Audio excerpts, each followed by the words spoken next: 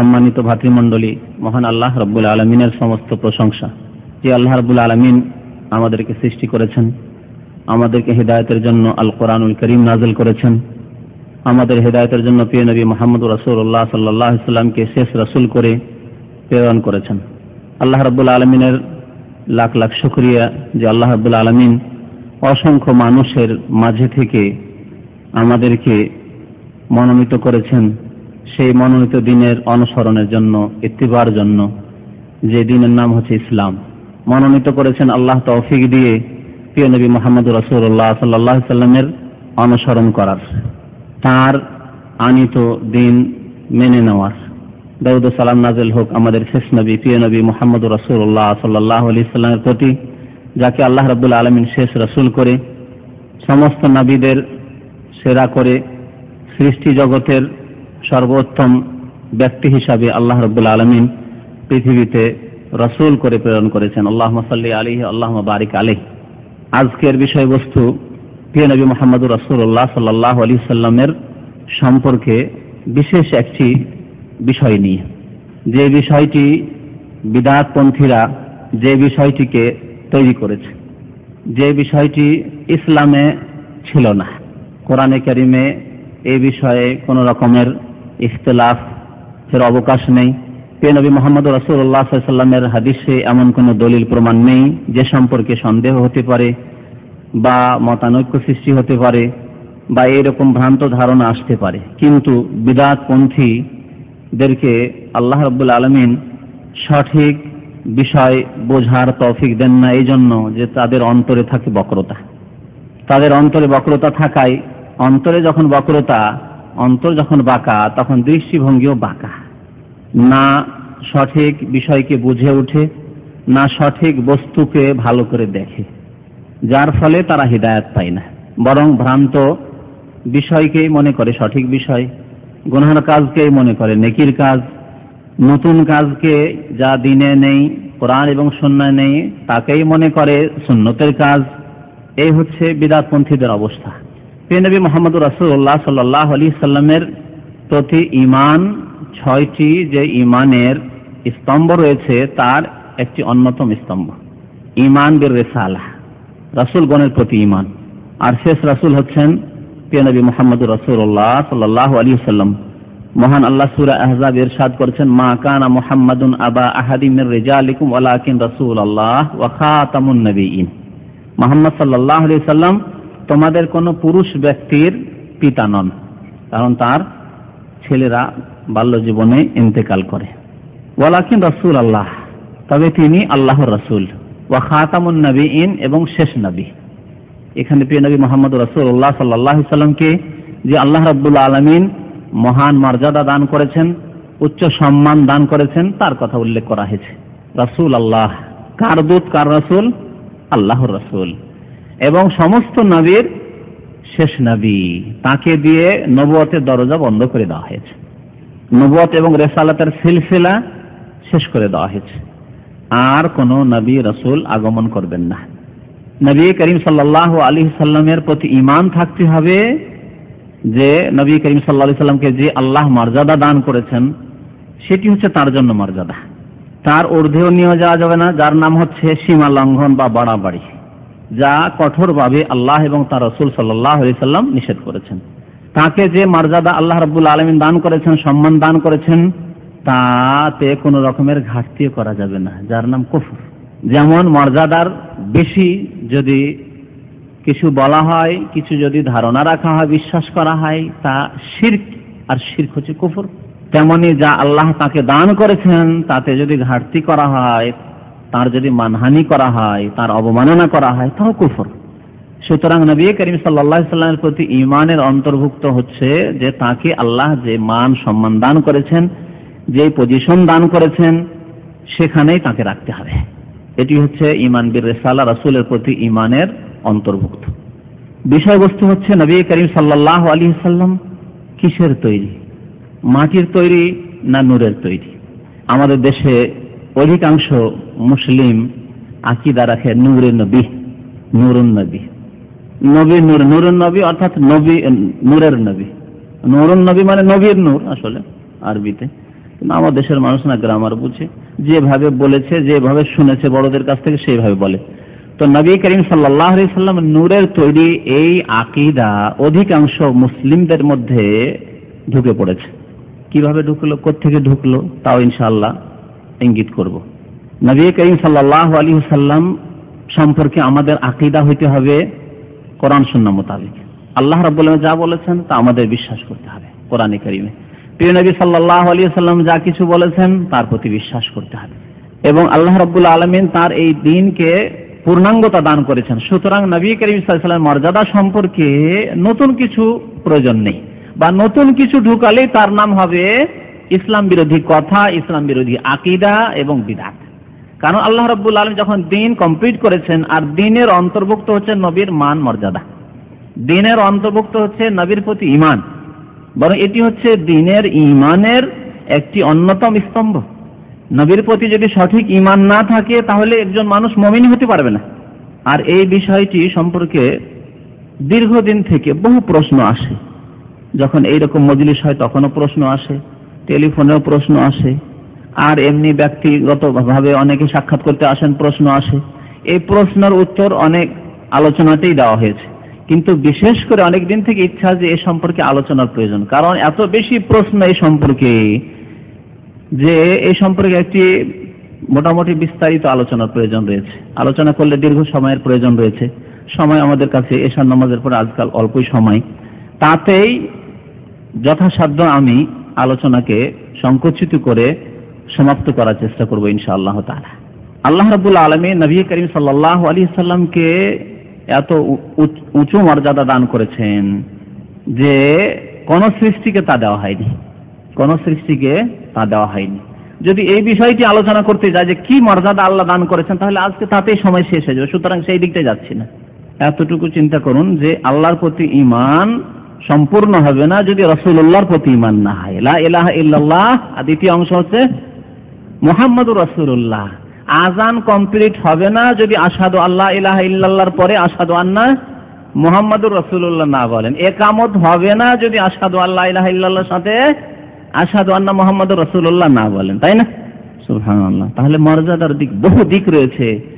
যে সম্পর্কে এর আগে কিছু আলোচনা নবী করিম সাল্লামের হক সম্পর্কে আলোচনা হয়েছে, সেগুলিতে আলোচনা কিছু হয়েছে আরও ইনশাল্লাহ সময় মতো আলোচনা হবে। তবে আজকে আলোচনা শুধু এইটি, এটি করব। দুটি বিষয়ের একটি বিষয়, যে নবী করিম সাল্লাহ সাল্লাম মানুষ না নূর? মানুষ না নূর এই জন্য বলা হচ্ছে যে মানুষ মানে কিসের তৈরি? মাটির তৈরি। প্রিয় নবী মোহাম্মদ রাসুল্লাহ সাল্লাহ আলী সাল্লাম এরশাদ করেছেন, দেখো তোমরা অহংকার করিও না। কারণ কুল্লকুম মিন আদম, তোমরা সবাই আদম থেকে সৃষ্টি ও আদম মিন তুরাব আর আদম মাটি থেকে তৈরি। আর তোমরা সবাই আদম থেকে, তাহলে আমরা সবাই কিসের মাটির? এখন প্রশ্ন হচ্ছে, প্রিয় নবী মোহাম্মদ রসুল্লাহ সাল্লাহ আলী সাল্লাম আদম সন্তান না ফেরেস্তা সন্তান? বলেন। আদম সন্তান বলবেন না জিব্রাইল সন্তান?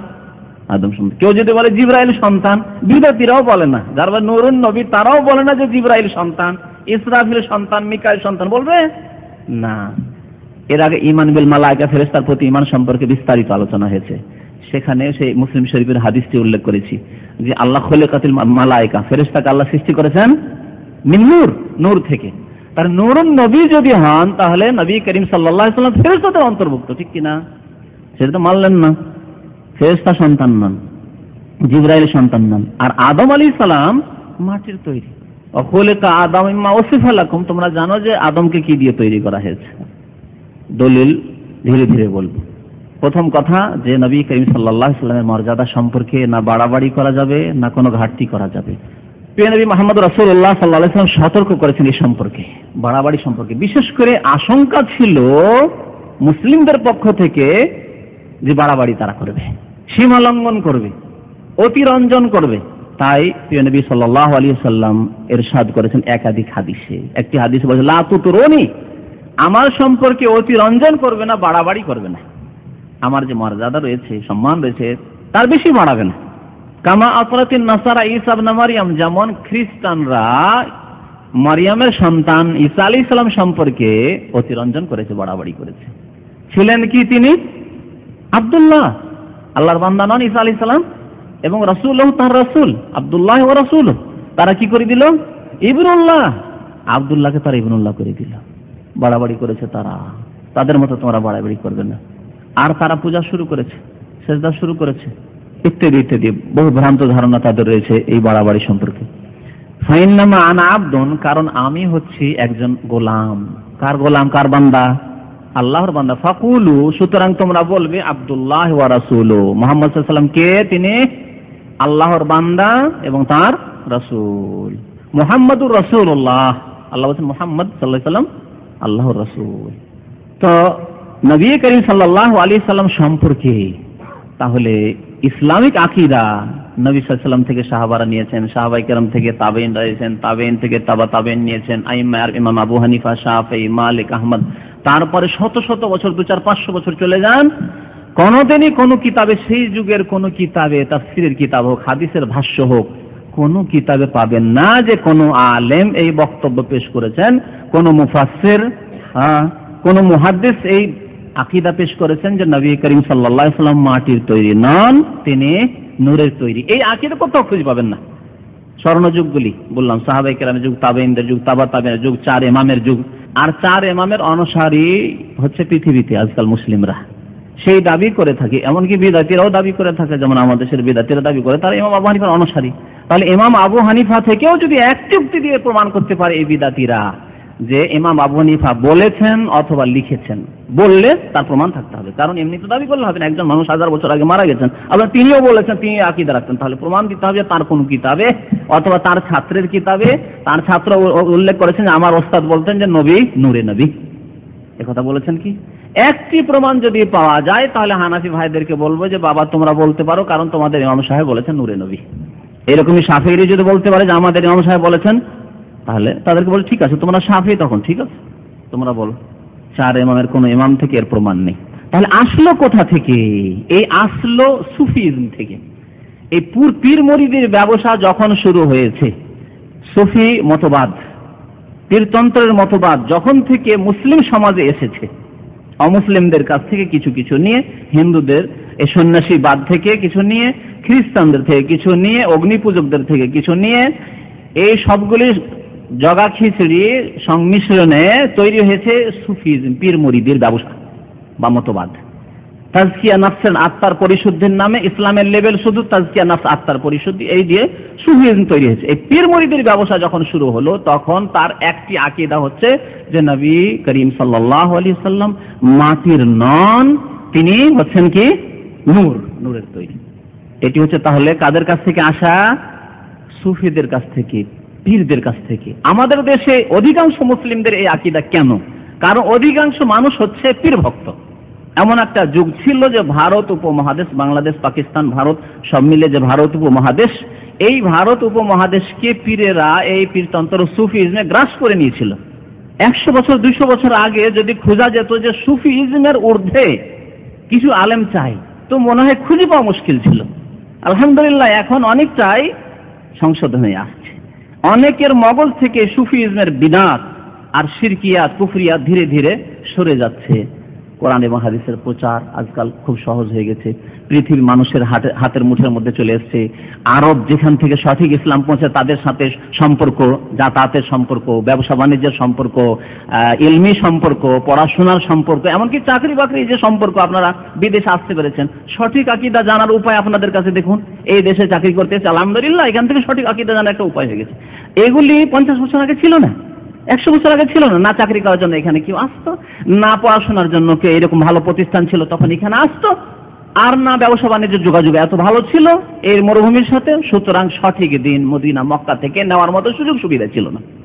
যার ফলে যে অন্ধকারে ছিল ছিল উপমহাদেশের লোকেরা। আলহামদুলিল্লাহ সেই অন্ধকার এখন হালকা হচ্ছে, ভোর হচ্ছে। ভোর হচ্ছে, ধীরে ধীরে অন্ধকার দূরীভূত হচ্ছে, আর সঠিক আকিদার অনুসারী বাড়ছে। তার বাস্তব প্রমাণ আপনারা নিজের চোখে দেখতে পাচ্ছেন যে আপনাদের কি অবস্থা, আপনার বংশের কি অবস্থা ছিল। লোকজন আলহামদুলিল্লাহ দেখছেন যে এই এলাকায় গেলে দেখতে পাচ্ছেন কিছু লোক আছে যারা সঠিক আকিদার কথা বলছে, সঠিক আকিদার প্রচার করছে। সুসংবাদ এটি। তো আসুন এ সম্পর্কে কিছু শোনা যাক যে নবী করিম সাল্লাহ সাল্লাম মানুষ, মানুষকে আরবি ভাষায় কোরআনের ভাষায় বলা হয়েছে বাসার কোরআনের ভাষায় বাসার বলা হয়েছে। প্রিয় নবী মোহাম্মদ রসুল্লাহ সাল্লাহ সাল্লামকে কয়েকটি আয়াতে বাসার বলা হয়েছে। বাসার মানে হচ্ছে মানুষ। আর মানুষ কিসের তৈরি? ও আদম মিন্তুরাব। মানুষের পিতা, মানব জাতির পিতা আদম আলী সাল্লাম নবী করিম হাদিস ও আদম মিন্তুরাব। কোরআনে করিমে রয়েছে, গত সপ্তাহে এই আয়াতগুলি শুনিয়েছি। ইন্না মাসাল ঈসা ইনদাল্লাহ কামাসাল আদম খালাকাহু মিন তুরাব আদমকে আল্লাহ তুরাব দিয়ে মাটি দিয়ে তৈরি করলেন, সুম্মা ক্বালা লাহু কুন ফায়াকুন। জীবন্ত মানুষ হয়ে যাও। আরেকটি কথা এখানে শুনে রাখার প্রয়োজন রয়েছে যে নবী করিম সাল্লাল্লাহু আলাইহি সাল্লামকে বা যে কোনো ব্যক্তিকে শ্রেষ্ঠত্ব দান করার জন্য, তার উচ্চ মর্যাদা প্রকাশ করার জন্য জরুরি নয় যে তাকে বিশেষ কিছু দিয়ে সৃষ্টি বললেই তার উচ্চ মর্যাদা প্রকাশ পাবে। কথাটা বুঝতে পেরেছেন? অর্থাৎ মানুষের শ্রেষ্ঠত্ব তার সৃষ্টির ধাতুর উপর বা উপাদানের উপর নির্ভর করে না। মানুষের বা যে কোনো ব্যক্তির বা যে কোনো জাতির শ্রেষ্ঠত্ব কিসের উপর নির্ভর করে না? তার সৃষ্টির উপাদানের উপর নির্ভর করে না। অর্থাৎ নূরের তৈরি হলেই সর্বশ্রেষ্ঠ হতে পারবেন, আর মাটির তৈরি বললেই তার মানহানি হয়ে যাবে, অত উচ- উচ্চ সম্মান পাবেন না, তিনি উচ্চ মর্যাদা হাসিল করতে পারবেন না আগুনের তৈরি হলে তো এই হয়ে যাবে সে হয়ে যাবে না। একটি কায়দা জেনে রাখতে হবে। এর বিপরীত যদি কেউ বলে যে না, ধাতুর হিসাবে বা উপাদান হিসাবে মানুষের বা ব্যক্তির শ্রেষ্ঠত্ব বাড়ে। যার যেমন উপাদান, তেমন তার ব্যক্তিত্ব। যদি এ কথা বলে, এটি ইবলিশের কথা। এই যুক্তি ছিল কার? ইবলিশের যুক্তি। ইবলিশকে যখন আজাজিল তার নাম শুনেছেন না? আজাজিল। খুব ইবাদত বন্দী করতো। তখন ইবলিস ছিল না। মানে ইবলিস মানে আল্লাহর রহমত থেকে নিরাশ। পরে ইবলিস উপাধিটি পেয়েছে সে, যখন আল্লাহর রহমত থেকে নিরাশ হলো, কাফের হয়ে গিয়ে আল্লাহর আদেশকে অমান্য করে।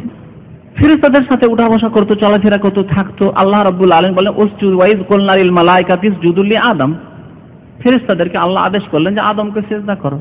ফাসাজাদু ইল্লা ইবলিসা, আবা ওয়াস্তাকবারা ওয়া কানা মিনাল কাফিরিন। সমস্ত ফেরেশতাগণ সেজদা করলেন, ইবলিস বলল, না না না, আমি সেজদা করব না। আমি আদমকে কেন সেজদা করব? আমি তার চাইতে বয়োজ্যেষ্ঠ, অনেক আগে সৃষ্টি হয়েছি।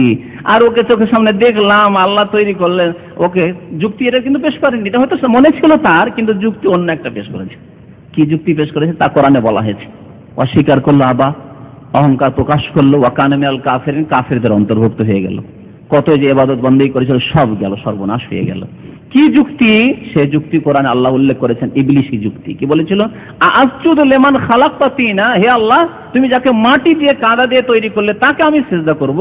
খালাক্তানি মিন নারি ওয়া খালাক্তাহু মিন তিন। আমাকে আগুন দিয়ে সৃষ্টি করলে, ওকে মাটি দিয়ে সৃষ্টি করলে, আর মাটিকে আগুন সৃষ্টি আগুন দিয়ে যে সৃষ্টি, সে মাটিকে সিজদা করতে পারে?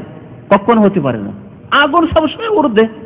সুতরাং আমি ঊর্ধ্বে থাকব, আমি কেন তাকে সেজদা করব? সেজদা করব না। তাহলে উপাদানের ভিত্তিতে ফজিলত বা মান সম্মান বেড়ে যাওয়ার ধারণা কার? ইবলিসের ধারণা। সে বলল যে আমি শ্রেষ্ঠ, কারণ আমি আগুন তৈরি। অথচ কখনো না তা। এই জন্য একটি আকিদা মনে রাখবেন এখানে নবী করিম সাল্লামের সম্পর্কে বা বাসার বা নূর সম্পর্কে আলোচনার আগেই যে উপাদানের ভিত্তিতে কোনো ফজিলত নেই, বরং এই উম্মত রসুল্লাহ সাল্লাম তো সমস্ত সৃষ্টির সেরা। এটি তো আমাদের আকিদা। এতে কোন সন্দেহ আছে কি? আমরা যেমন আফজালু, কি বলছে? আফজালুল খালক সৃষ্টির সেরা। সমস্ত সৃষ্টির সেরা তিনি। সমস্ত মধ্যে ফেরেস্তা আছেন কিনা? জিব্রাইল, মিকাইল, ইসরাফিল আছে কিনা? সমস্ত সৃষ্টি সেরা। শুধু মানুষের মধ্যে সেরা না, সমস্ত সৃষ্টি সেরা। তাহলে কি বোঝা গেল? ফেরেস্তাদের চাইতে ও রাসূলুল্লাহ সাল্লাল্লাহু আলাইহি সাল্লামের মান মর্যাদা বেশি। অথচ ফেরেস্তা নূরের তৈরি, নবী করিম মাটির তৈরি। এটি হচ্ছে আমাদের ইমান এতে কোনো সন্দেহ নেই। আরও মনে রাখবেন ওলামাই কিরামরা বলেছেন যে, সৎ যারা নেক মানুষ, আদম সন্তান, তারা তারা ফেরেস্তাদের চাইতে উত্তম। সমস্ত ফেরেস্তার চাইতে উত্তম। আর সাধারণ মুসলমান যারা, সাধারণ মুসলমান, তাদের চাইতে সাধারণ ফেরেস্তা উত্তম। এক হচ্ছে বিশেষ বিশেষ নেক, অত্যন্ত সৎ আল্লাহ মুসলমান। নেক মুসলমানরা ফেরেস্তাদের চাইতে উত্তম। আর সাধারণ মুসলমান চাইতে কারা উত্তম? সাধারণ ফেরেস্তা কারণ ফেরেস্তারা সাধারণ হলেও সবাই আল্লাহর ইবাদত বন্দেগী সবসময় করেন। হ্যাঁ? আল্লাহর অনগত তারা। আল্লাহ নাফারমানি করেন না। পক্ষান্তরে মানুষ, মুসলিম কত নাফারমানি করছে? তাহলে এত নাফারমানি করার পরেও কি সাধারণ ফেরেস্তা চাইতে উত্তম হওয়ার কথা বলা যেতে পারে? কখনো না। তাহলে এই আকিদা আমরা বুঝে নিলাম। এখন আসুন।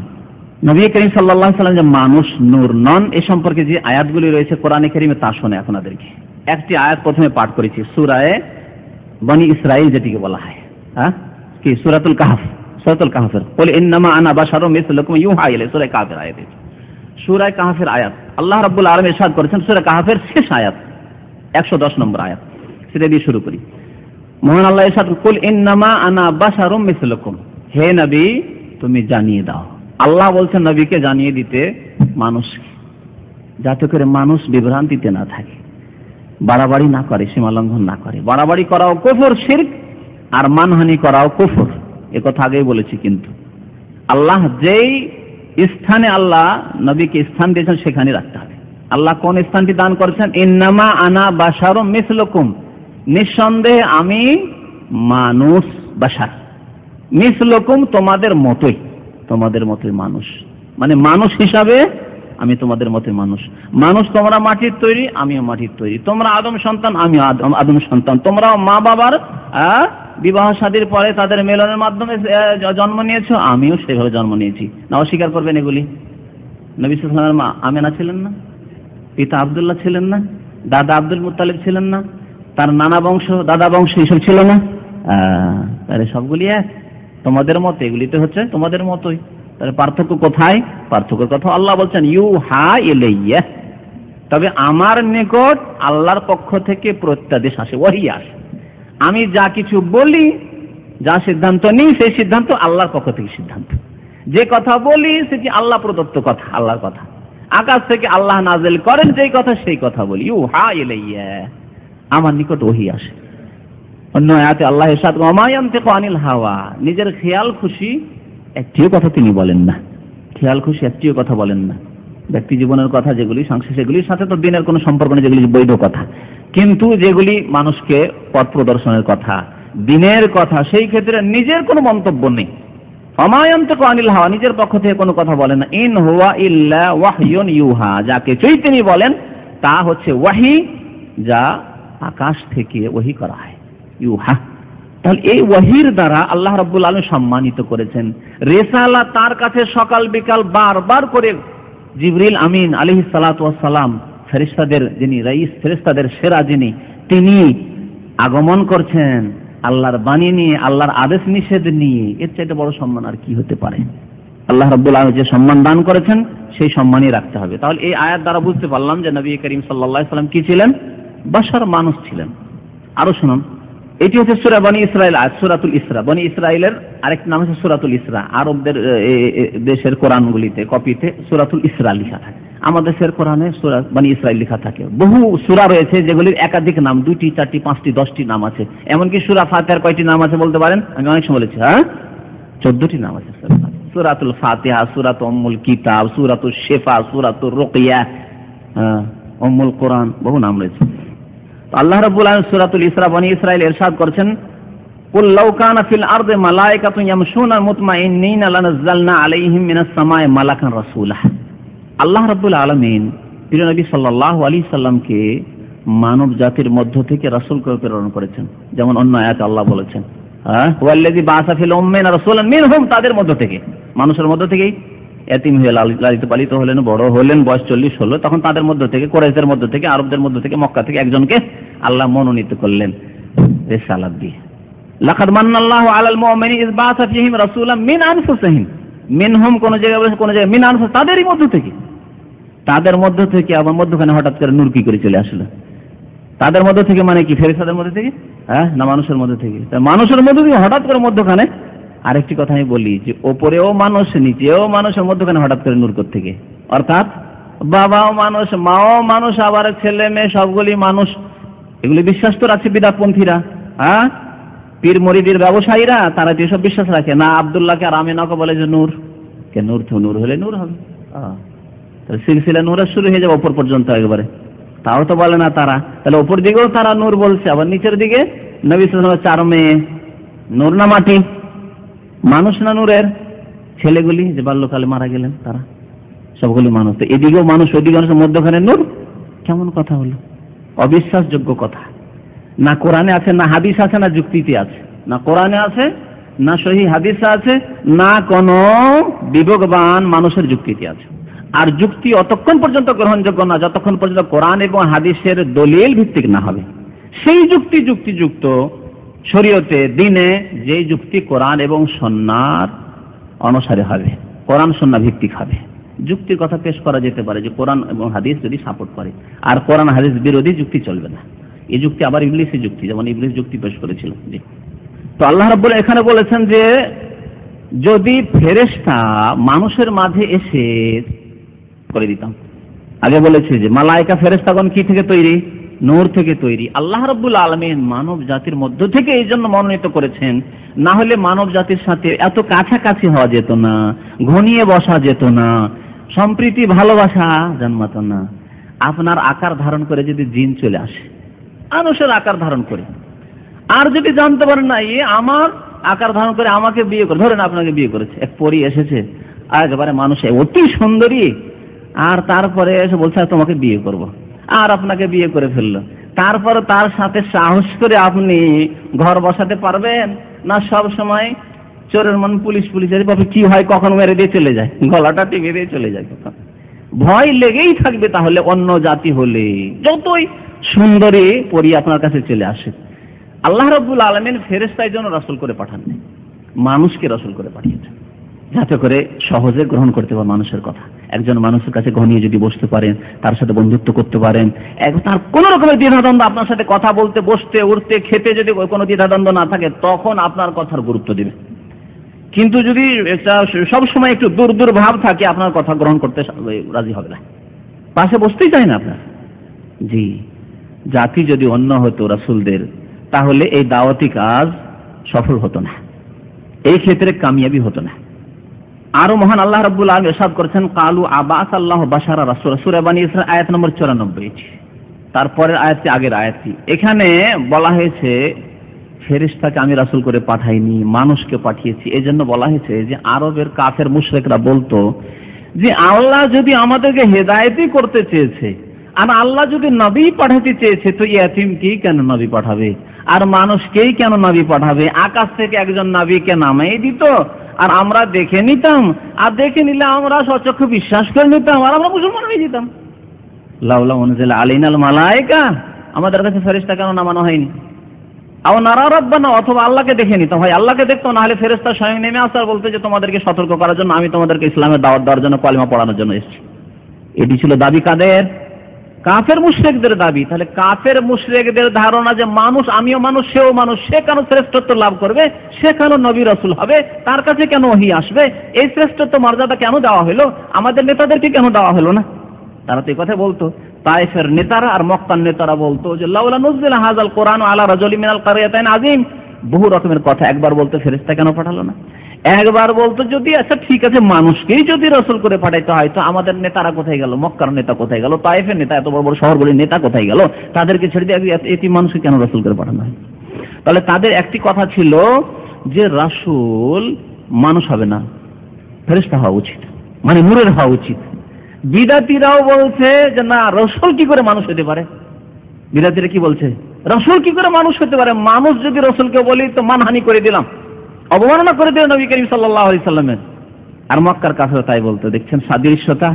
একটি কথা এই পয়েন্টে থাকবে যে, আল্লাহ রসুলকে নূর বলায় সাদৃশ্যতা রয়েছে, ইহুদিদের সাথে সাদৃশ্যতা রয়েছে, খ্রিস্টানদের সাথে সাদৃশ্যতা রয়েছে, হিন্দুদের সাথে সাদৃশ্যতা এমন কি রয়েছে, যে পয়েন্টটি এখন বলছি, মক্কার মুশরিকদের সাথে। মক্কার মুশরিকরা আশ্চর্য মনে করতো যে নবী আবার মানুষ কি করে পাঠালো? নবী করবে ফেরেশতাকে মানে নূরের। আর বিদাতিরা কি বলছে? পীরপন্থীরা? যে নূরে নবী নবী কি করে মানুষ হতে পারে? তাহলে দেখলেন সাদৃশ্যতা কাফেরদের অনুকরণ দেখলেন, প্রিয় নবী মোহাম্মদ রসুল্লাহ সাল্লাম বলেছেন এইরকমই যে তোমরা বিজাতির অনুকরণ করবে কাফের অনুকরণ করবে। আরও বলেছেন, সতর্ক করে নবী করিম সাল্লাহ তাসাব্বাহা বিকওমিন ফাহুয়া মিনহুম যে ব্যক্তি আকীদায়, আমলে, আচার, আচরণে, ধর্মীয় ক্ষেত্রে কাফেরদের সাদৃশ্যতা অবলম্বন করবে, ফাহুয়া মিনহুম, সেই ব্যক্তি বা তারা তাদের অন্তর্ভুক্ত হবে। তাহলে যদি আমরা মক্কার মুশরিক কাফেরদের মতো যদি বলি যে নবী মানুষ কি করে হইতে পারে? নবী ফেরেশতা হওয়া দরকার ফেরেশতাদের সৃষ্টি- মতো সৃষ্টি নূরের হওয়া দরকার। তাহলে তাদের তো অনুসরণ হয়ে গেল, অনুকরণ হয়ে গেল, সাদৃশ্যতা হয়ে গেল, পাওয়া নিয়ম সুতরাং তাদের অন্তর্ভুক্ত তারা। এই কথাটি শুনে রাখুন। বাকি খ্রিস্টানদের সাদৃশ্যতা কেমন করে, ইহুদিদের কেমন করে, হিন্দুদের কেমন করে, স্মরণ করে দেবেন যদি ভুলে যায় পরে। পরে বলব ইনশাল্লাহ তো কাফেররা বলতো যে, আবাস আল্লাহ বাসারা রাসুল্লাহ দলিল দ্বিতীয় বলছি যে বাসার আল্লাহ কোরআনে বলেছেন নবী করিম সাল্লামকে মক্কার মুশরিকরা বলতো, আরবের কাফেররা বলতো যে, আল্লাহ বাসারকে মানুষকে রসুল করে পাঠালেন। এটা কেমন করে হইতে পারে? বিদাতিরা বলছে, নবী মানুষ হতে পারেন না। নবী বাসার হতে পারেন না, মাটির হতে পারেন নবী নূরের। আর তারা বলতো আবাস আল্লাহ বাসার রসুল। আল্লাহ কি করে রসুলকে মানুষ করে পাঠালেন? না, রসুল হবেন মানে ফেরিস্তা পাঠাবেন আল্লাহ রাবুল আলম কেন আল্লাহ যদি ফেরিস্তা পাঠাতেন, আমরা মেনে নিতাম। তার জবাবে আল্লাহ রাবুল বলছেন কুল্লাউ কানা ফিল আরজে মালাইকা পৃথিবীতে ফেরেস্তাদের সবসময় চলাফেরা করা, মানুষের সাথে মেলামেশা, তার, তাদের কাছে কাছিয়ে বসা যদি সম্ভবপর হতো, তাহলে লানাজ্জালনা আলাইহি মিনাস সামায় মালাকান রাসূলা। তাহলে আকাশ থেকে আমি ফেরেশতাকে রাসূল করে পাঠাইতাম। তা সম্ভব নয় ফেরেশতারা মানুষের সাথে চলাফেরা করবে সব সময় না হবে না। এটা অসম্ভব। সেজন্য আমি পাঠাই আরও শুনুন, মুশরিকরা আশ্চর্য হতো এ কথা আরেকটি জায়গায় আল্লাহ রাব্বুল বলছেন যে মানুষকে কি করে, মানব সন্তানকে কি করে রসুল করে পাঠায়? তাহলে মুশরেকরা এই জন্য ওলামারা বলেছেন যে মুশরেক, আরবের মুশরেকরাও নবী সাল্লাহ সাল্লামকে বিদাতিদের চাইতে বেশি ভালো করে চিনতেন। কি শুনলেন, বুঝতে পারলেন কথাটি? নবী করিম সাল্লামের জ্ঞান হাসিল করতে হবে না হবে না। এটি ইসলামের তিনটি মূলনীতির ইমানের তিনটি মূলনীতির একটি। কি?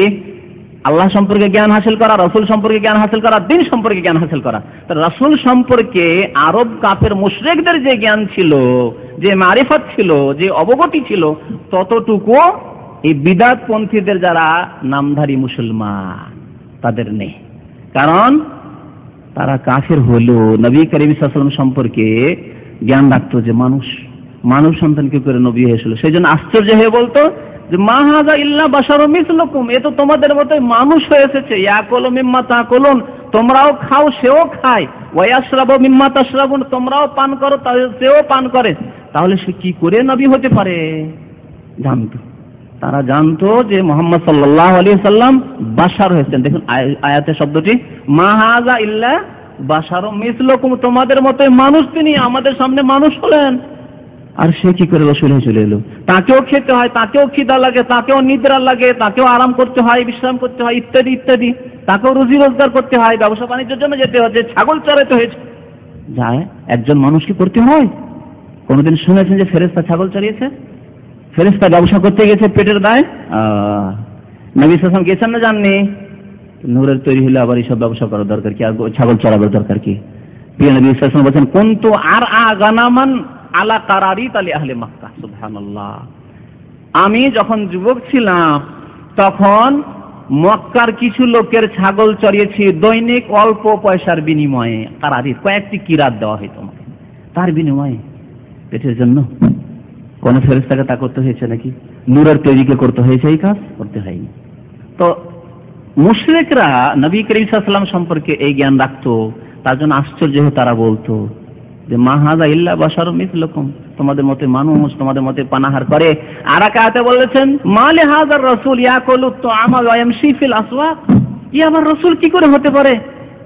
খাবার খেতে হয় এই রসুলকে ওয়ামশি ফিল আসওয়াক, বাজারে মাঠে ঘাটে হাটে যেতে হয়। আসওয়াক, বাজারে যেতে হয়, হাটে যেতে হয়, কেনাকাটা করতে হয়। যেমন আমাদের দেশের বিদাতি জনসাধারণের এইরকম আকিদা আছে। হুজুররা আবার বাজারে কেন? হুজুর কেন বাজারে আবার? হুজুর আবার ব্যবসা কেন করবে না? হুজুর মানে মোল্লার দৌড় মসজিদ, মসজিদের ইমাম হয়ে যাও না মোয়াজ্জেন হয়ে যাও, আর থাকো, ওই নজর নিয়াজ কিছু আসবে ফাতে টেথা করবে, দু চার পয়সা আসবে, বা কেউ কেউ মরলে কোরআন খানি করতে ডাকবে, ওই যে কেউ, এ মারা গেলে, গরু, ছাগল মারা গেলে, কাদের লাভ হয়? জানেন তো ভালো করে, গরু, ছাগল মারা গেলে আর মাঠে ঘাটে ফেলে দিলে লাভ কাদের হয়? ওই রকমই অবস্থা করে গেছে আমাদের দেশের মোল্লা হুজুর হাফেজ কারীদের আমাদের দেশের বিদাতি জনসাধারণ। যে এরা কেন বাজারে যাবে? এরা কেন ব্যবসা বাণিজ্য করবে? এরা কেন এসব কাজকর্ম করবে? এরা মসজিদে থাকবে, এরা হুজুর ধরনের মানুষ কোরআন খানি করার জন্য আমাদের কোন লোক মারা গেলে তখন প্রয়োজন। জীবিতদের জন্য এদের প্রয়োজন নেই। মরে যাওয়া লোকের জন্য প্রয়োজন। যেমন মরে যাওয়া গরু, ছাগলের জন্য আমাদের প্রয়োজন, কিসের তো বুঝতেই পারছেন। ওই রকমই অবস্থা করে দিয়েছে আমাদের দেশের আলেম ওলামা সমাজের আর হাফেজকারীদের আমাদের দেশের বিদাতি জনসাধারণ। জি। সুতরাং আমাদের আলেম ওলামাদের, হাফেজকারীদের মান সম্মান ফিরিয়ে নিয়ে আসতে হবে। ওদের দ্বারস্থ হয়ে থাকলে হবে না। ওদের সামনে হাত হাত বাড়ালে হবে না। ওদের ঘরে ঘরে গিয়ে পয়সাওয়ালাদের ঘরে ঘরে কোরআন খানি করলে হবে না। কোরআন বিক্রি করলে হবে না। হাদিস বিক্রি করলে হবে না। ফতুয়া বিক্রি করলে হবে না। তাদের খেয়াল, খুশি, মর্জি মোতাবেক ফতুয়া দিলে হবে না। যদি আমাদের আলেম আলমারা স্বয়ং সম্পূর্ণ হয়ে যেত আর এই রকমের দাঁড়ে দাঁড়ে না ফিরে বেড়াতো জনসাধারণ তাহলে আমাদের দেশের পয়সাওয়ালারা ছেলে মেয়েদেরকে কোরআন শিক্ষা দিত। কোরআন শেখায় না? অসুবিধা নেই হুজুর তো আছে মরার সময় কোরআন পড়ার ব্যাপারে জানাবে হুজুরকে ডেকে দেবো জি। শত শত হুজুর এসে এমনিতেই কোরআন পড়তে থাকবে। আর এরকম কিসা কাহিনী তো আজকাল শুনতেই পাচ্ছেন। একদিকে কোরআন পড়ছে আরেকদিকে হিন্দুদের এতে হিন্দুরা ভারতে এই যে নেতারা মারা গেল এক নেতা মারা গেল। তো বলছে পাশে বসে যে ভাইরা দেখেছে এই দৃশ্য, সে ভাইরা এই খবরটি দিয়েছে। আমি তো সব দেখি নাও দেখতে যাই না, কিন্তু খবর আমার কাছে আসতে থাকে। বলছি, একদিকে বসে ভারতের বিদাতি কবর পূজারী মোল্লারা তিনশো সংখ্যায় কোরআন খানি করছে, আর আরেকদিকে হিন্দু, সাধুরা এসে গীতা পাঠ করছে। এ হচ্ছে বিদাতি মুসলমানদের অবস্থা ভারত উপমহাদেশে। তো মক্কার মুশরিকেরাও আশ্চর্য হতো যে বাজারে চলাফেরা করবে, আবার রসুল কি করে হতে পারে? রসুল কি হবে? নূরের তৈরি হবে। ফেরেশতা হবে। বিদাতিরাও এরকমই মনে করে যে, রসুল কি করে আবার মানুষ হতে পারে? রসুল আবার মানব সন্তান কি করে হতে পারে? মাটির তৈরি কি করে হতে পারে? না, রসুল নূরের হবে। রসুল নূরের হবে। রসুল ফেরেস্তাদের মতো হবে। দেখছেন, সাদৃশ্যতা কেমন মুশরিকদের সাথে। তাহলে বাসার শব্দে এই আয়াত রয়েছে সুরায় মোমেনুন, আয়াত নম্বর তেত্রিশ, চৌত্রিশে। আরও আল্লাহ রাব্বুল আলামিন সূরায় ফুরকান এরশাদ করেছেন, ওমা আরসালনা কাবলাকা মিনাল মুরসালিন ইল্লা আন্নাহুম লা তাআমা ওয়া ইয়ামশুনা ফিল আসওয়াক। হে নবী আলাইহি তোমার পূর্বে যত নবী রাসুলকে আমি প্রেরণ করেছি, তারা সবাই খাবার খেতেন, বাজারে চলাফেরা করতেন এবং তারা মানুষ ছিলেন এরকম। এগুলি কার গুণ? নূরের তৈরি ফেরেশতাদের গুণ? বাজারে চলাফেরা করেন, আর খাবার খান। হ্যাঁ ফেরেশতারা করেন, নূরের তৈরি হলে নবী করিম আলাইহি সাল্লাম কখন এসব করতেন না। হাদিস থেকে শুনুন, কোরআন আয়ের বেশ কিছু পেশ করলাম যে নবী করিম আলাইহি সাল্লাম বাশার অর্থাৎ মানুষ, আর মানুষ মাটির তৈরি। হাদিস শুনেন প্রিয় নবী মোহাম্মদ রাসূলুল্লাহ সাল্লাল্লাহু আলাইহি সাল্লাম আব্দুল্লাহ বিন মাসউদ রাদিয়াল্লাহু তাআলা আনহু এই হাদিস বর্ণনা করেছেন।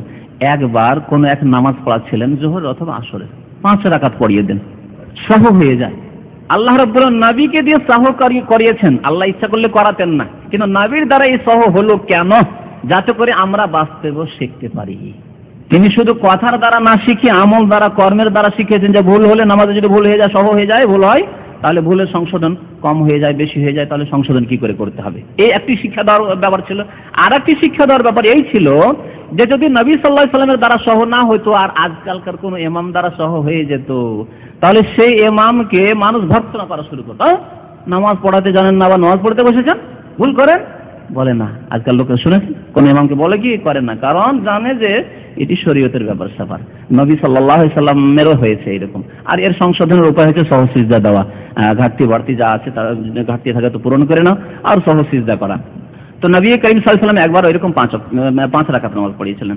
তারপরে নবী সাল্লামকে বলা হলো তখন সহসিজদা করলেন দুইটি সিজদা করলেন।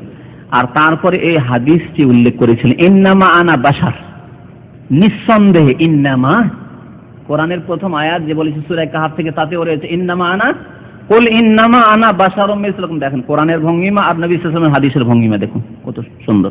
ইন্নামা নিশ্চয়ই, নিঃসন্দেহে, আনা বাশার, আমি মানুষ। আনসা কামা তানসাউন, যেমন তোমরা ভুলো, তেমন আমিও ভুলে যাই। মানুষ ভুলে, নূরের সৃষ্টি ফেরেশতা ভুলে না। ফেরেশতা যদি ভুলে যেতেন তো কতবার ভুলে গিয়ে ফেরে জিবর আলাইহিস সালাম আকাশে থেকে যেতেন, ওই নিয়ে আসতেন না। এমন কোন ঘটনা ঘটেছে কি? নবী করিম সাল্লাম বলছেন যে, আমি তোমাদের মধ্যে মানুষ।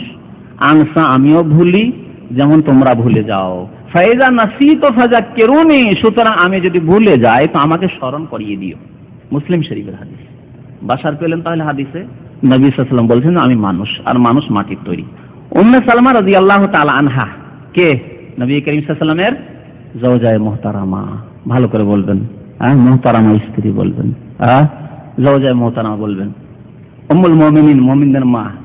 কেউ কি নিজের আম্মাকে বলতে পারবেন? আমার আব্বার স্ত্রী। বলুন তো, বলতে পারবেন কেউ? পারবেন? আপনার আম্মাকে বলতে পারবেন যে আব্বার স্ত্রী? কেউ বলতে পারবেন না। তাহলে কি করে বলছেন যে রসুল্লাহ স্ত্রী? তোবা করেন। খবরদার এরকম কথা বলি। বেয়াদবি। এই হচ্ছে নবী সাল্লামের মান মর্যাদার খেয়াল রাখা। মান মর্যাদা মানে এই না যে মিছামিছি নবীকে আরও কিছু করে দিলাম, বাড়াইতে বাড়াইতে পূজা করা শুরু করলাম চেষ্টা করা শুরু করলাম, মাদা দিয়া রাসুল্লাহ শিরিক করা, কুফরি করা শুরু করলাম। না, কখনো না। কিন্তু আপনি যখন আপনার আম্মা সম্পর্কে বলতে পারেন না যে আমার আব্বার স্ত্রী, আমাদের দেশে সৎমাকে বলতে পারে না, অথচ সৎমা আব্বার স্ত্রী আপনার আম্মা তো নন। তিনি কি আম্মা? আম্মা নন আপনার। তার পেট থেকে আপনি আসেননি। আর যদি আমাদের দেশে চান আম্মা বলেন, কিন্তু সে তো আসলে আম্মা না। তারপরে আমরা বলি, ছোট আম্মা, যদি বড় হয় তো বড় আম্মা। সৎ মাকে বলছি। বলেন না যে আমার আব্বার স্ত্রী। আর আল্লাহ রাব্বুল্লাহ বলছেন ওয়াজওয়াজহু উম্মাহাতুহুম, নবীর মুহতারামা বিবিগণ, তাদের মা, উম্মতের মা। কোরআনে আল্লাহ বলেছেন, শ্রদ্ধার দিক দিয়ে, ভক্তির দিক দিয়ে, ভালোবাসার দিক দিয়ে, হারাম হওয়ার দিক দিয়ে, মায়ের মতো কথাবার্তার দিক দিয়ে শ্রদ্ধা মানে কথা। সবকিছুতে অন্তর থেকে যেমন শ্রদ্ধা হইতে হবে, কথার দ্বারা দিয়ে মায়ের মতো। কথাবার্তার দিক দিয়ে শ্রদ্ধা মানে কথা। সবকিছুতে অন্তর থেকে যেমন শ্রদ্ধা হইতে হবে, কথার দ্বারা ভাষাতে শ্রদ্ধা হইতে হবে, আমলেও শ্রদ্ধা হইতে হবে। আর নবী করিম সাল্লামের মহতারামা বিবির নাম এলো আর বলে দিলেন, ওইভাবে যেভাবে বললেন মৃত্যুকে না, কখনো না।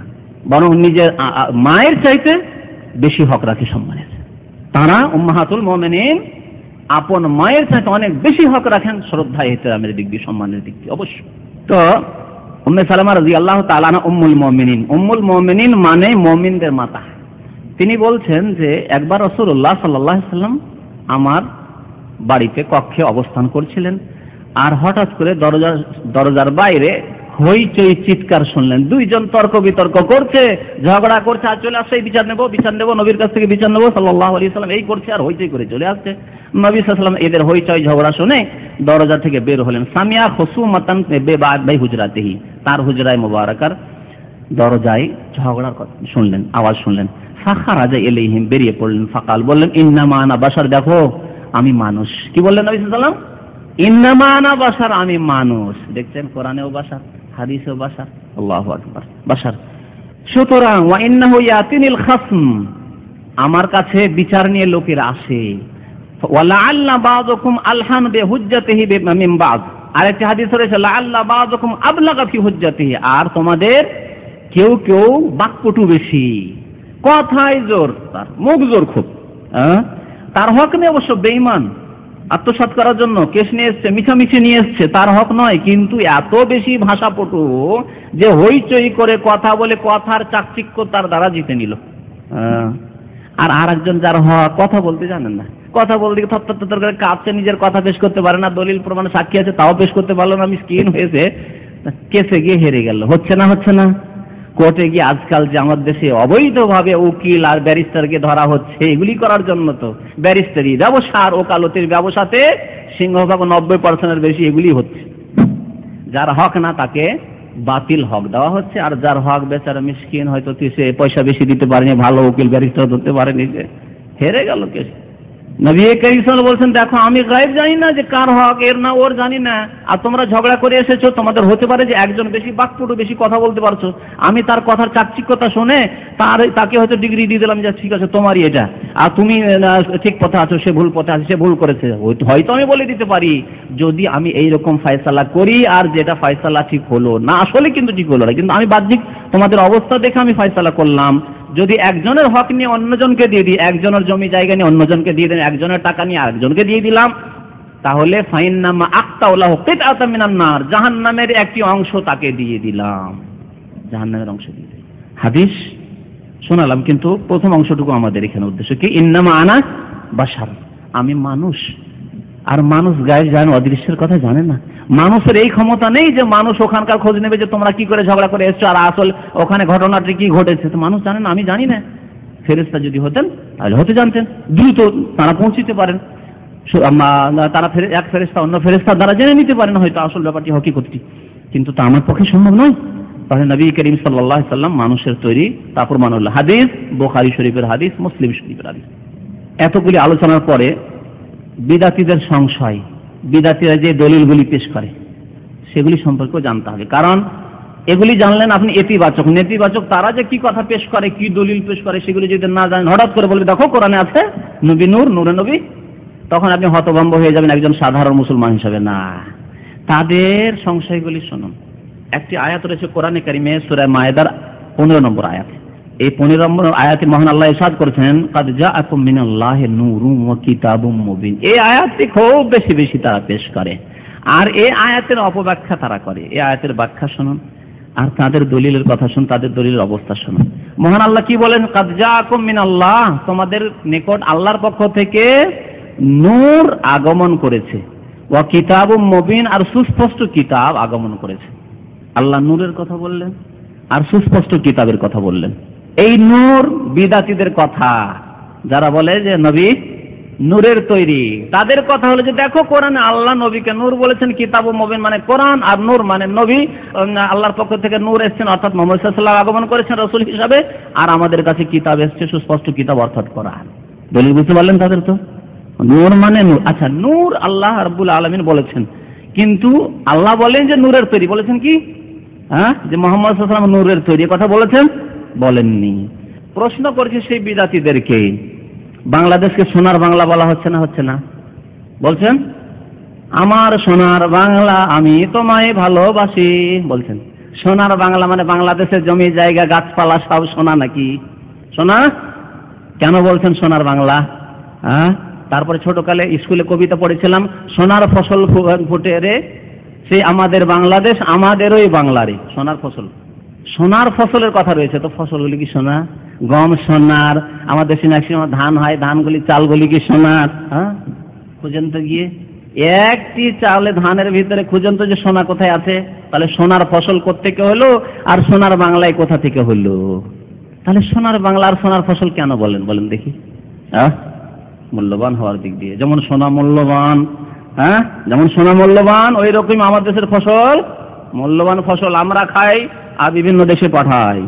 আমার দেশে যত সুন্দর ফসল হয়, পুরনো যুগ থেকে ধরে না সারা পৃথিবীতে কোথাও ছিল না। এই জন্য সবচাইতে ঘন জনবস্তি বাংলার জমি। পাঁচশো সাতশো বছরের ইতিহাস, দেখুন বাংলার ইতিহাস। সারা পৃথিবী থেকে এত ঘনবস্তি কেন এখানে? সত্যি সোনার ফসল হতো, তার মানে সোনা জন্মাতো না ফসলে। সোনার ফসল মানে মূল্য- মূল্যবান ফসল হতো।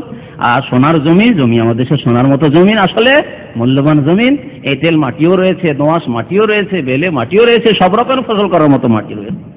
সোনার বাংলা, আমরা শ্রদ্ধা আমার দেশের ভালোবাসা, এই জমিকে আমি ভালোবাসি, এই মাতৃভূমিকে ভালোবাসি, এসব প্রকাশ করার জন্য সোনার বাংলা, ঠিক কিনা? ঠিক তেমনি আল্লাহ রব্বুল আলমিন যদি নূর মানে আল্লাহ রসুলই বলা হয় মোহাম্মদ সাল্লাম একটি তফসির, দুই তফসির করা হয়েছে নূরের। একটি তফসির হচ্ছে যে নূর মানে মোহাম্মদ সাল্লাহ আলি সাল্লাম আগমন করেছেন আর কিতাব ও মবিন মানে কোরআন করিম।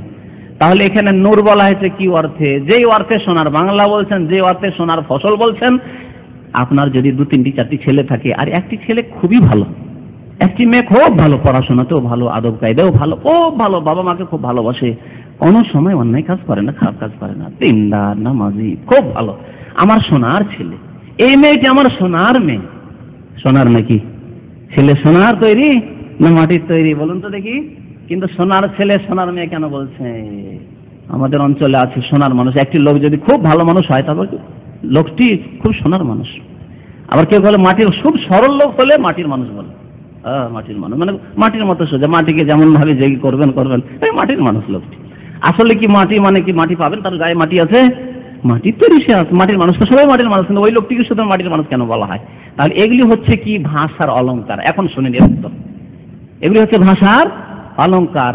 বাংলাদেশকে, বাংলার জমিনকে সোনার বাংলা বলা, ফসলকে সোনার ফসল বলা ছেলেকে ভালো ছেলে হলে সোনার ছেলে, মেয়ে হলে সোনার মেয়ে, এগুলি হচ্ছে ভাষার অলঙ্কার ভাষার অলঙ্কার তেমনই আল্লাহ রব্বুল আলমিন কোরআনে করিম যে রয়েছে সবচেয়ে উচ্চ অলংকার রয়েছে, বালাগাত রয়েছে কোরআনে করিমের ভাষায়। এই জন্য কোরআনে করিমের সাথে চ্যালেঞ্জের মুখে কেউ কোনো কাফের আসতে পারেনি। অথচ কাব্য রচনায় তারা খ্যাতি লাভ করেছিল মক্কার মুশ্রিক আরবের মুশ্রিকেরা। কেউ সামনে এসে দাঁড়াতে পারেনি, বলেছিল যে আমরা পারব না। কোরআনের মোকাবেলা করতে পারব না। এই প্রতিযোগিতায় আসতে পারব না। এই চ্যালেঞ্জ আমরা গ্রহণ করতে পারব না। সবাই নথি স্বীকার করেছিল। তো নবী করি সাল্লাহ সাল্লামকে আল্লাহ নূর বলেছেন কি অর্থে? শুনুন। ইমাম ইবনে জারির তাবারি রহমতুল্লাহ আলাই ইবনে কাসির এই তাফসিরটি উল্লেখ করেছেন নূর মানে মোহাম্মদ সাল্লাহ আলি সাল্লাম। উল্লেখ করার পরে বলছেন, তাদের বক্তব্যটি শুনুন। তারা বলছেন যে তিনি কেমন নূর? নূর এইরকম যে আল্লাজি আনার আল্লাহ বেহিল হক। নবী সাল্লাহ সাল্লাম নূর মানে নূরের সৃষ্টি তারা বলেননি। দেখুন, যদি নূরের সৃষ্টি এটি ইসলামিক আকিদা হতো, তাহলে ইমাম ইবনে জারির তাবারি প্রসিদ্ধ তাফসির, পুরনো তাফসিরের মধ্যে সবচাইতে বড় তাফসির হচ্ছে তাফসির ইবনে জারির তাবারি। আর তারপর ইবনে কাসির। তারা বলতেন যে নবী সাল্লাহ সাল্লাম নূরের তৈরি, তাই আল্লাহ নূর বলেছেন এই কথা কেউ বলেননি। তার মানে তাদের আকিদাতে ছিলই না এই বাতিল আকিদা। তাদের আকিদা কি ছিল শুনুন তাদের ভাষা আল্লাজি আনার আল্লাহ বিল হক। নূর কেন নবীকে বলা হয়েছে? যার দ্বারা আল্লাহ সত্যকে আলোকিত করেছেন, দেখুন। কি অর্থ করলেন? সত্যকে আলোকিত করেছেন। যেমন সোনার বাংলার অর্থ আপনি করেন, যেমন আপনি সোনার ছেলের অর্থ করেন, তেমনি তারা অর্থ করছেন আল্লাজি আনার আল্লাহ বিহিল হক। আর কি? তারপরে ও মহাকা শির্ক আর শির্ককে নিশ্চিন্ন করেছেন। ও আজহার আল ইসলাম ও ইসলামকে আল্লাহ রাবুল আলম সর্বজয়ী করেছেন, নবী করিম সাল্লাহ সাল্লামকে প্রেরণ করে। আর ফাহুয়া নূরুল লেমানিস্তানার আবেহি এবং আল্লাহ রসুল নূর কার জন্য? যেই ব্যক্তি তার থেকে নূর গ্রহণ করবে মানে হিদায়ত গ্রহণ করবে। যে ব্যক্তি কালমা ইলাইল্লাহ পড়বে, যে ব্যক্তি পাঁচ অক্ট নামাজ পড়বে, যে ব্যক্তি তাকে অবলম্বন করবে, যে ব্যক্তি আল্লাহ পরকাল চিন্তা করবে, যে ব্যক্তি পরকাল সম্পর্কে চিন্তাশীল হবে আল্লাহ বিশ্বাসী হবে, দিনের বাস্তবায়ন করবে পূর্ণাঙ্গ রূপে, তার জন্য নবী করিম নূর। কাফের জন্য নূর কি? কাফের জন্য তো নূর না, কাফের সেই নূর থেকে উপকৃত হয় না সেই জন্য। তাই বলছেন ইমাম ইবিনে জারির ফাহুয়া নুরুন লেমানিস্তানারা বেহি যেই ব্যক্তি নবী নূর থেকে উপকৃত হবে, নূর গ্রহণ করবে, আলো গ্রহণ করবে, এই হৃদায়ত থেকে নবী যে হৃদায়তের আলো জ্বলেছিলেন, সে আলো থেকে যে আলো গ্রহণ করে তার জন্য তিনি নূর। এই জন্য সেই নূরের কথা আল্লাহ রাবুল আলম আর একটি আয়তে বলেছেন যে, আওয়ামান কানা মেইতেন। মক্কা সম্পর্কে আল্লাহ বলছেন যে, মক্কা নগরী ছিল মৃত। মক্কা নগরী কখনো মৃত ছিল? মানে সবাই মরা ছিল, আবু জাহাল, আবুল আহাব, না সব কাফের ছিল? আল্লাহ বলছেন, মাইতান, মৃত ছিল, মৃত।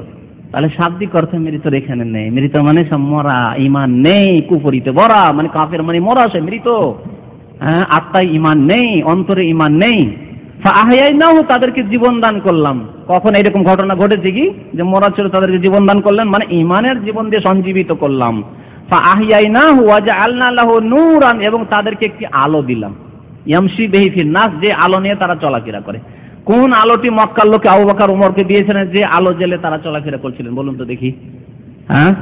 ছিল কোন রকমের বিদ্যুৎ, আলোর ব্যবস্থা? তাহলে আলো দিয়েছিলেন হেদায়তের আলো।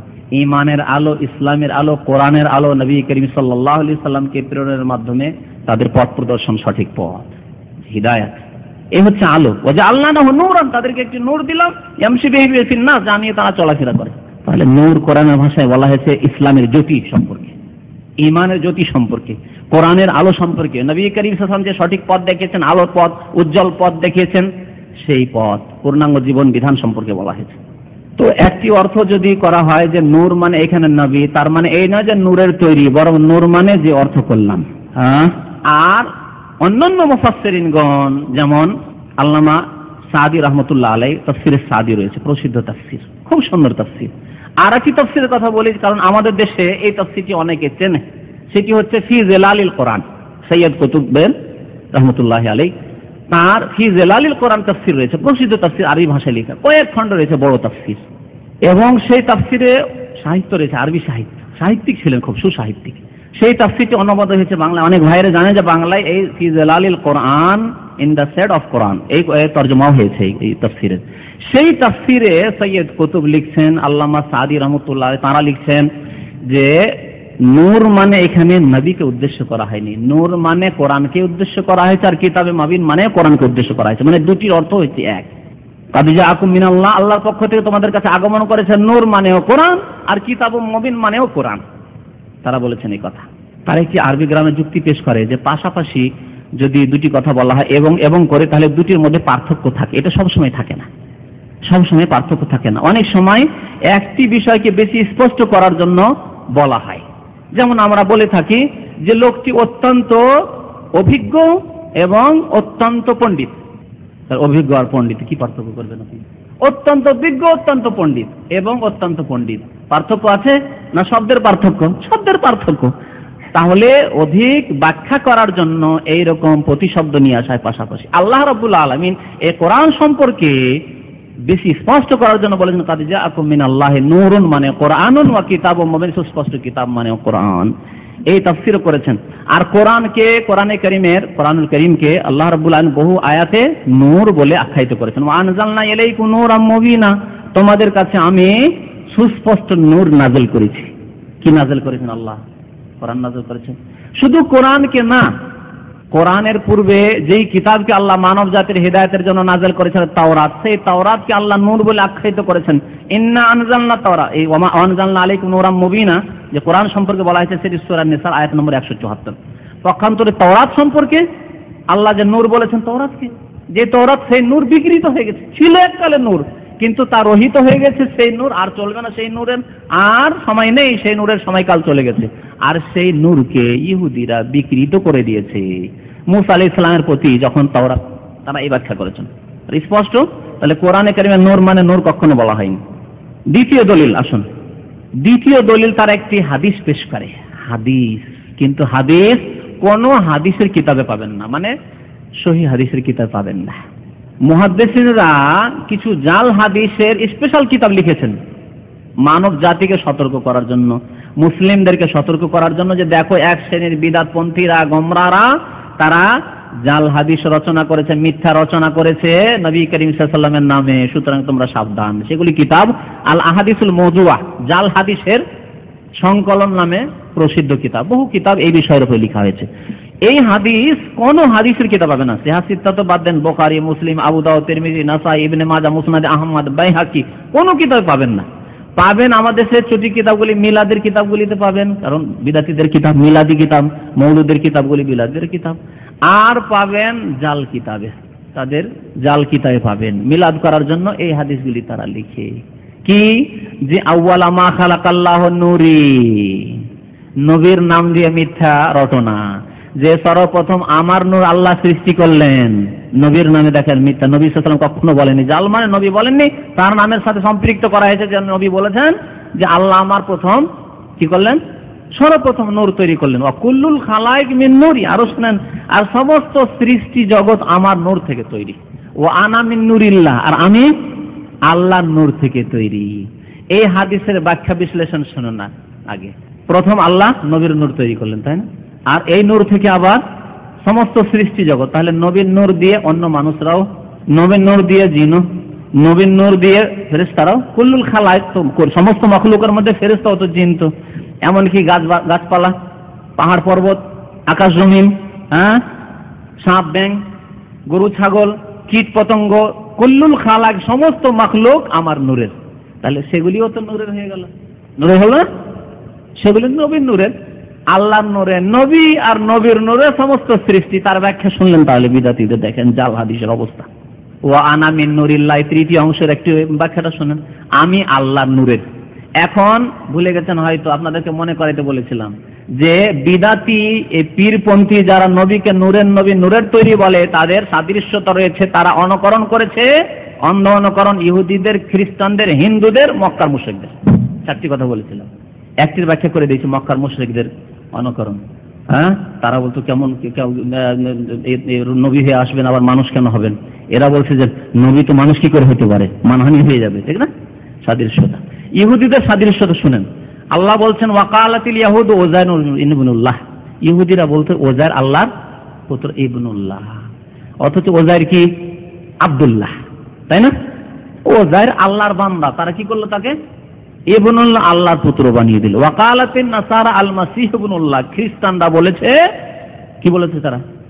তাদের ভ্রান্ত আকিদা কি? পরবর্তীকালে বিকৃত কুফরি আকিদা হলো যে মসি ঈসা আলী সালাম আল্লাহর পুত্র। অথচ ঈসা আলী সালাম কি বলেছেন? কালা ইন্নি আব্দুল্লাহ, আমি আল্লাহর বান্দা। আতানি আল কিতাব ওয়া জালানি নবী মায়ের কোলেই যখন বাকশক্তি খুলেছিল, তখন তিনি বলেছেন, আমি আল্লাহর বান্দা। খ্রিস্টানরা তাকে কি করে দিল? ইবনুল্লাহ, আল্লাহর পুত্র করে দিল। সান অফ গড করে দিল। স্লেভ অফ গড আল্লাহ রাখল না। আল্লাহর গোলাম, আল্লাহর দাস না রেখে সান অফ গড ইবনুল্লাহ বানিয়ে দিল। ইহুদিরা ইবনুল্লাহ বানিয়ে দিল। আর বিদাতিরা, কবর পূজারীরা, পীরপন্থীরা কি করল? মোহাম্মদুন রসুল আবদুল্লাহ ওয়ারাসুলহু ছিল। কি করে দিল? তারা নুরুল্লাহ। ও আনা মিন নুরিল্লাহ, আমি আল্লাহ নূরে দেখছেন সাদৃশ্যতা। তারা বলল, ইবনুল্লাহ আর বিদাতিরা বলল, নুরুল্লাহ। আল্লাহ বলছেন, লাকাদ কাফার আল্লাযিনা কালু। তারা কাফের হয়ে গেছে, যারা বলেছে, ইন্নাল্লাহু আল মাসিহ ইবনে তাহলে খ্রিস্টানদেরকে আল্লাহ কাফের বলেছেন, ইহুদিদেরকে আল্লাহ কাফের বলেছেন, কারণ তারা বলেছে যে, ঈসা আলাইহিস সালাম আল্লাহর পুত্র ওজাইর আল্লাহর পুত্র। তেমনি এই হুকুম প্রযোজ্য ওই সব বিদাতপন্থীদের ওপর, যারা বলল, লাকাদ কাফার আল্লাযিনা কালু, ইন্না মুহাম্মাদান নূরুল্লাহ। শুনে রাখুন ভালো করে। তাদের কুফরি স্পষ্ট। যারা বলে যে মোহাম্মদ সাল্লাহ সাল্লাম আল্লাহর নূরের কারণ কারণ এখন দেখেন কুফরি লেবল লাগানো বড় কথা নাই, বুঝতে হবে। যদি কাফের থাকে তাহলে তাকে মুসলমান মানানো যাবে না। আর মুসলিম থাকলে কাফের করা যাবে না, এই কথা সবসময় জেনে রাখতে হবে। কখনো জায়েজ নয় যে কোনো মুসলিমকে কেউ কাফের করবে, যতক্ষণ পর্যন্ত সে বেরিয়ে না গেছে ইসলাম থেকে। আর কখনো জায়েজ না যে কোনো কাফেরকে, হিন্দুকে ইহুদি, খ্রিস্টানকে বলবে যে জান্নাতি সে। যেহেতু ভালো কাজ, মাদার টেরেসা জান্নাতি। হ্যাঁ? বাবা ভ্যাটিকান জান্নাতি। আস্তাগফিরুল্লাহ। এক শ্রেণির এইরকম গুমরা মুফতিরা রয়েছে যারা বলে ওইসব ধর্মে থাকলে কি হবে? আর বিশেষ করে ইউরোপ, আমেরিকা যেসব মুসলমান বাস করে ইসলামিক স্কলারের নামে তাদের অধিকাংশ এইরকম গুমরা। তারাও তো ভালো কাজ করেছে। তারা কেন মুক্তি পাবে না? নিজের খেয়াল খুশি মুক্তি দেবেন আপনি জবরদস্তি করে। হ্যাঁ না, আল্লাহ মুক্তির ঘোষণা করবেন। আল্লাহ বলছেন, আমি কাফের মুশ্রিকের জন্য জান্নাতকে হারাম করেছি। আর তুমি কি করে হালাল করে দেবে? তো কি বলছিলাম? নুরুল্লাহ। কেমন করে কাফের?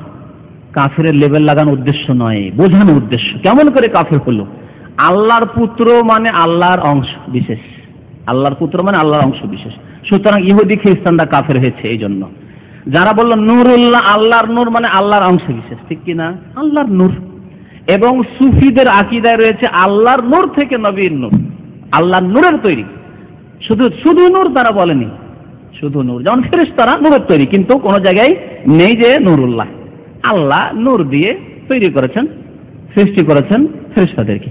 পক্ষান্তরে বিদাতিরা পীরপন্থীরা বলে যে নুরুল্লাহ আল্লাহর নূর থেকে। আল্লাহর নূর থেকে বলা অর্থাৎ আল্লাহর অংশ বিশেষ। আল, আল্লাহর অংশ বিশেষ করা কোনো ব্যক্তিকে এটি হচ্ছে কোফর কোফর। অর্থাৎ এতে কি হয়ে গেল? আল্লাহর শরিক হয়ে গেল। আল্লাহ রাব্বুল আলামিন বলছেন আল্লাহ আহাদ, আল্লাহর কোনো অংশ পার্টনার নেই। আল্লাহ সামাদ, লাম ইয়ালিদ ওয়ালাম ইউলাদ ওয়ালাম ইয়াকুল কুফুয়ান আহাদ। সূরা ইখলাসের আকীদাও যদি ভালো করে বুঝতো, তাহলে এই নুরুল্লাহর কুফরি আকীদা কেউ পেশ করতো না। সুতরাং এই নুরুল্লাহর আকীদা হচ্ছে শিরক। এই হাদিস, যে হাদিসটিকে হাদিস বলে তারা চালিয়ে দিয়ে থাকে, আর কোনো হাদিসের উল্লেখযোগ্য হাদিসের কিতাবে নেই, জাল হাদিস ছাড়া, আর মিলাদের কিতাব ছাড়া। সেই হাদিসটি বাতিল মজু এই ক্ষেত্রে ওলামা, মুহাদ্দিসিন আইম্মাদের ইত্তেফাক, ইজমা রয়েছে, ঐক্যমত রয়েছে। কোনো দ্বিমত নেই যে হাদিস হচ্ছে জাল, মিথ্যা কথা, হাদিস নয় এটি। বরং জাল, বানাওয়াট যা নবীর হাদিস বলে এই সুফিজমে বিশ্বাসীরা চালিয়ে দিয়েছে। আর একটি দলিল তাদের। এখানে আরেকটি কথা বলে দিই, যে সর্বপ্রথম আল্লাহ আমার নূরকে তৈরি করলেন। এই কথাটি সহি হাদিসের খেলাফ। সহি হাদিস বাই হাকিতে রয়েছে, মুসনাদে আবু আলাতে রয়েছে, হাদিসটি সহি। আউ্বালা মা খালাক আল্লাহুল কালাম। আল্লাহ সর্বপ্রথম কি সৃষ্টি করলেন? কলম সৃষ্টি করলেন। ফাকাল আল্লাহ উক্তব, কলমকে আল্লাহ বলেন লিখো। কলম বলছে, আল্লাহ কি লিখব? বলছে, উক্তব মাকাদের আল খালায়কে সমস্ত সৃষ্টি জগতের তকদির লিখো, ভাগ্য লিখো। তাহলে সহি হাদিসের সাথে দ্বন্দ্ব যে যে কথার হবে, সেটি কি হাদিস হতে পারে? সেটি জাল কথা। জি, সর্বপ্রথম আল্লাহ তকদির সৃষ্টি করে তকদির লেখার জন্য কলম সৃষ্টি করেছেন। তৃতীয় তাদের ভ্রান্ত আকিদা, আর সেটি তারা দলিল হিসেবে অনেকে পেশ করে। কি? পীর মুরিদিতে বিশ্বাসী যারা, তারা বলেন, নবী সাল্লাহ সাল্লামের ছায়া ছিল না।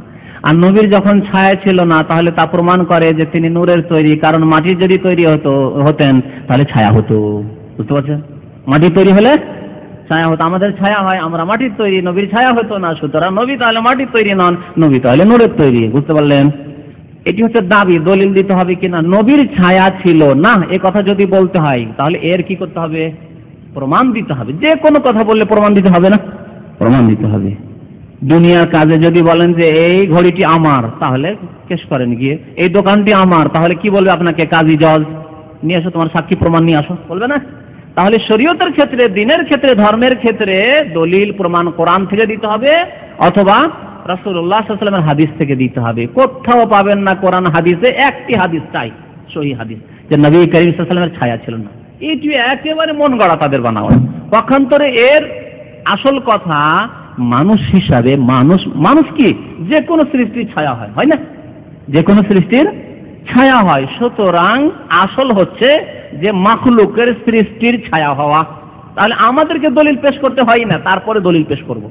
আর যারা ব্যতিক্রম বলবে, তাকে দলিল পেশ করতে হবে। কেউ যদি বলে, আমার হুজুর যে আছেন অমুক আলেম সাহেব, তিনি ঘুমান না। তাহলে এটি ব্যতিক্রম। তাহলে তাকে বলতে হবে যে, তুমি দেখেছ, প্রমাণ দিতে পারবে। আর যদি কেউ বলে যে, না, হুজুর ঘুমান, তাহলে কি প্রমাণ দাও তো, হুজুর ঘুমান। প্রমাণের প্রয়োজন নেই। কারণ মানুষ মানে ঘুমাইতে হবে তাকে। মানুষ মানে খেতে হবে তাকে। কেউ যদি বলে, না, আমার হুজুরকে খেতেই হয় না। আল্লাহর পক্ষ থেকে রিজিক প্রাপ্ত হন। তখন বলবে যে, দলিল দাও। সুতরাং নবী সাল্লাম সম্পর্কে যখন কেউ বলবে যে, নবীর ছায়া ছিল না, বলবে যে, দলিল দাও। হাত উপর হান এখন ইনকুন্তুম সাদেকিন। নেই। পক্ষান্তরে তার ছায়া ছিল, এর দলিল আছে। মুসনাদে আহমাদে আছে, মনে রাখুন, মুসনাদে আহমাদে আছে। একাধিক দলিল থাকতে পারে, একটি দলিল শুধু আপনার সামনে বলব আজকে, মুসনাদ আহমদে আছে। আর আর একটি কিতাব রয়েছে, ইতিহাসের কিতাব, তারিখ ইবিনে সাদ বা তাবাকাত ইবিনে সাদ। আল্লামা ইবিনে সাদ রহমতুল্লাহ আলী এতে রয়েছে যে নবী সাল্লামের ছায়া ছিল। ওই অংশটুকু হাদিসে পেশ করব শেষ করব। এর দ্বারা প্রমাণ যে নবী সাল্লাহ সাল্লামের ছায়া ছিল।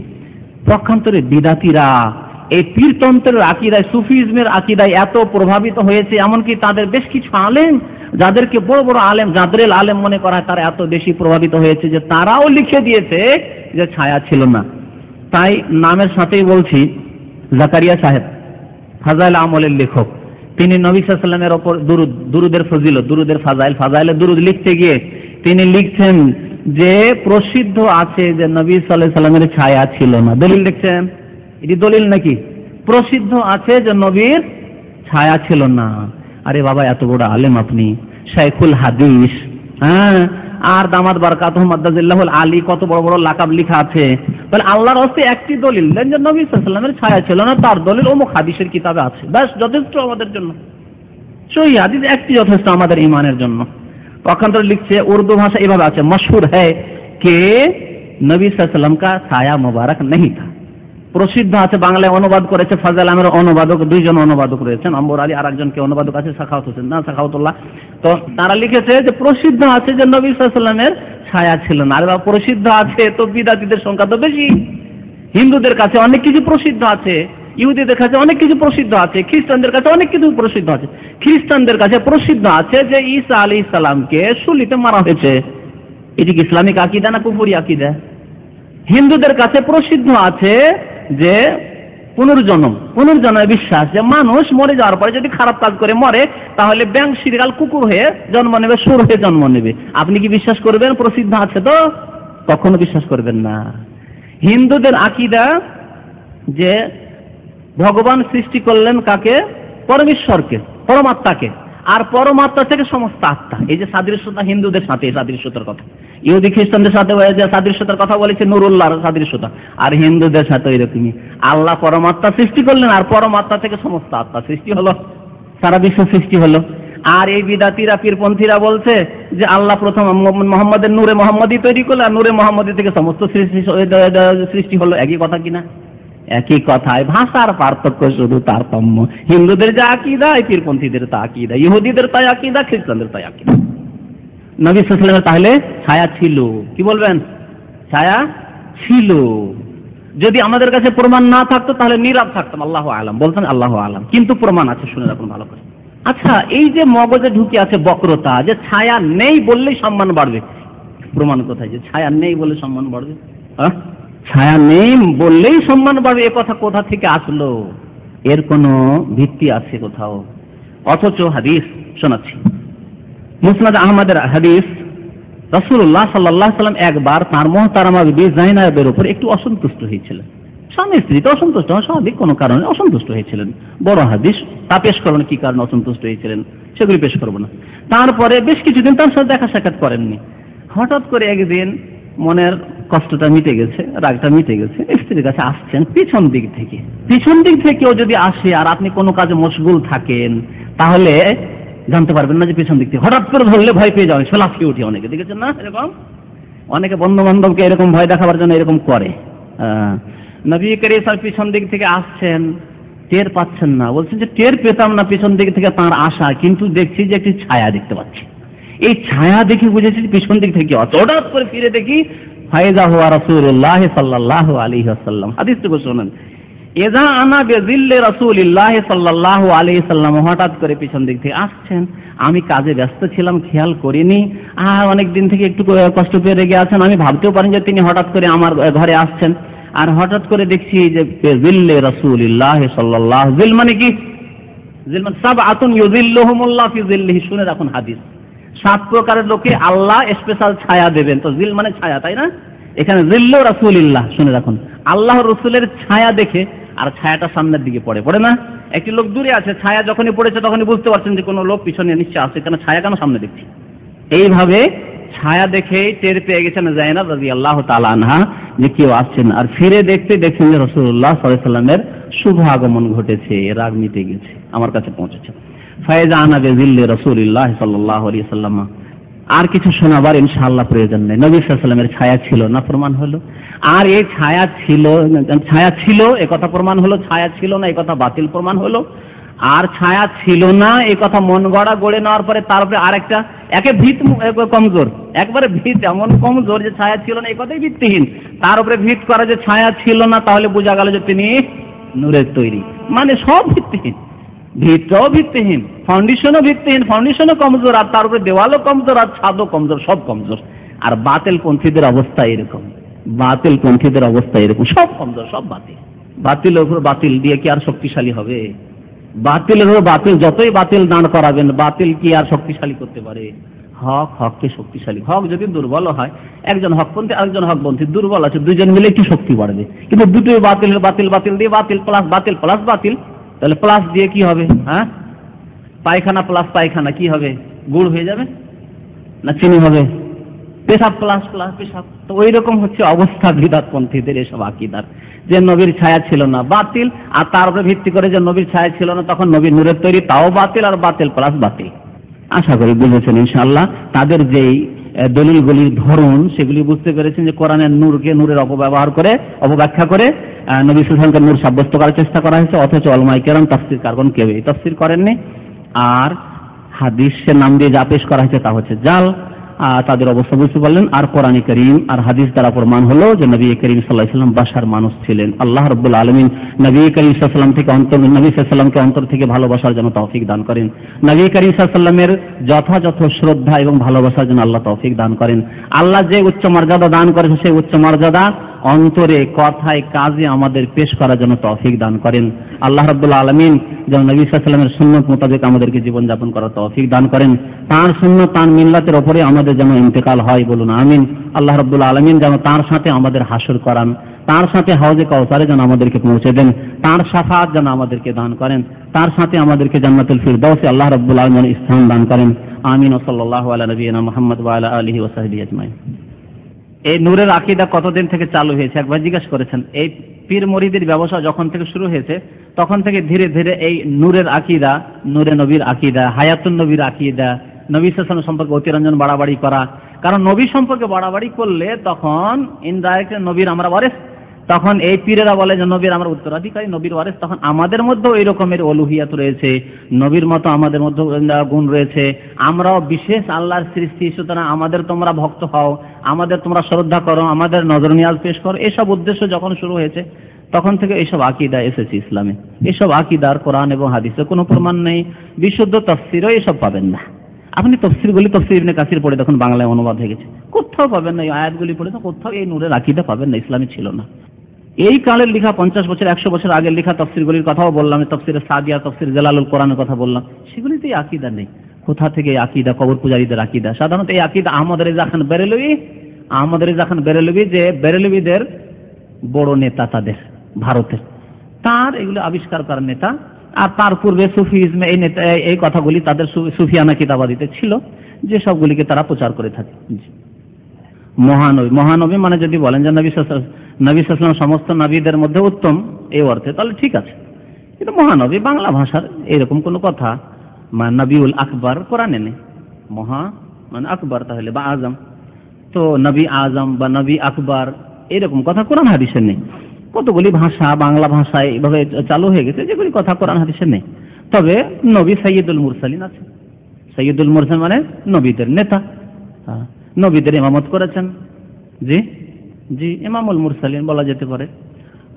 সৈয়দুল মুরসালিন, তারপরে আপনার যেগুলি উপাধি এসেছে, কোরআন এবং হাদিস, সেগুলো বলা যেতে পারে। আফজালুল বাসার সৃষ্টির সেরা ইত্যাদি ইত্যাদি বলা যেতে পারে। জি। সাল্লাল্লাহু আলা নবিয়ানা মুহাম্মদ ওয়া আলা সাহবিহি আজমাইন। বাকি প্রশ্নের উত্তর ইনশাআল্লাহ আগামীতে